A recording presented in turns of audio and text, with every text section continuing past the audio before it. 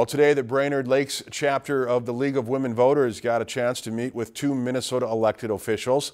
Senators Ruud and Gazelka spoke to the group about what current topics they are discussing at the state level. They gave a brief overview of what happened in the last legislative session and what they are preparing for in the upcoming session.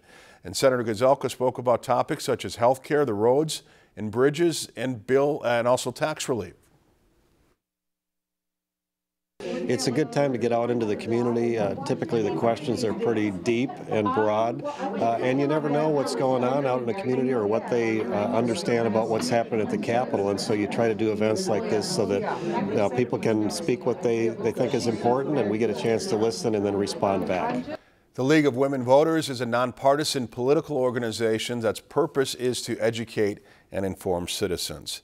If you've enjoyed this segment of Lakeland News, please consider making a tax-deductible contribution to Lakeland Public Television.